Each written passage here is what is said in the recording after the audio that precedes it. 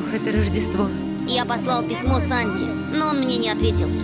Я хочу, чтобы дух Рождества вернулся в мою семью. Вы меня звали, Санта? Нужна помощь парнишке, чьи родители утратили дух Рождества. Нет. Повернись к елке, сделаем вид, что мы ее украшаем. У Ван Кампов лишь видимость Рождества. Ну все, берем и выносим. Тебя отправляют в реальный мир. Там женщины носят очень странную обувь. Нравится ваш магазин. Особенно если забыть, что в нем приходится вкалывать без выходных. Я Кристин. Она хочет стать няней. Следить за детьми? Санта хочет, чтобы ты создавала настроение праздника. Не сбивайся с пути. Ты еще веришь в Санта-Клауса? Всем сердцем.